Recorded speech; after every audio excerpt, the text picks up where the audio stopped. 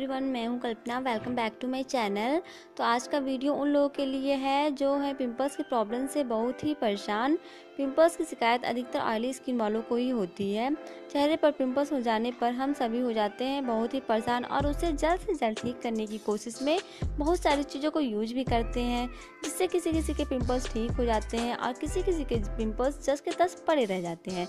तो फ्रेंड्स, इस वीडियो में मैं आपसे जो रेमडी शेयर करने वाली हूँ, ये वाकई में बहुत ही कारगर है। जिसे यूज़ कर आप पिंपल और पिंपल्स की दाग धब्बों से पा सकते हैं निजात। तो आइए जानते हैं आपको इसे बनाना कैसे है। इसे बनाने के लिए आपको दो चीज़ों की आवश्यकता होगी। पहला है नीम की पत्तियाँ और दूसरा है एलोवेरा जेल नीम की पत्तियों में एंटीसेप्टिक प्रॉपर्टीज़ पाई जाती है। इसको यूज़ करने से चोट या घाव जल्दी ठीक हो जाते हैं। इसलिए इसको पिंपल्स को ठीक करने के लिए भी यूज़ में लाया जाता है।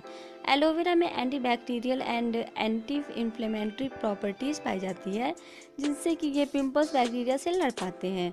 आप नीम की बारह पत्तियों को लेकर उसे पीस लें और उसमें फ्रेश एरोलीफ से निकाली हुई एक चम्मच एलोवेरा जेल को ऐड कर अच्छे से मिक्स कर लें। ध्यान रहे, आपको ताज़े एलोवेरा जेल को ही यूज़ करना है। इस मिक्सर को लगाने से पहले अपने चेहरे को अच्छे से वॉश कर लें और फिर इस मिक्सर को अपने पिंपल वाले स्थान पर लगाएँ। अगर आपके चेहरे पर पिंपल्स कम हैं तो इसे आप सिर्फ़ पिंपल वाले स्थान पर लगाएँ। और अगर आपके चेहरे पर पिंपल्स और पिंपल्स के स्पॉट्स ज़्यादा हैं तो इसे आप पूरे चेहरे पर लगा लें। और 20 मिनट के बाद फेस को वॉश कर लें।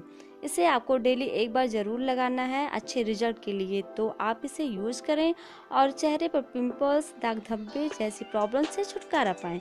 तो फ्रेंड्स, ये थी मेरी आज की वीडियो। आपको मेरी वीडियो कैसी लगी कमेंट सेक्शन में ज़रूर बताइएगा और मेरी वीडियो को लाइक दीजिए। और अगर आपने अभी तक मेरे चैनल को सब्सक्राइब नहीं किया है तो प्लीज़ कर लीजिए subscribe. Thanks for watching. See you my next video. Love you all. Bye.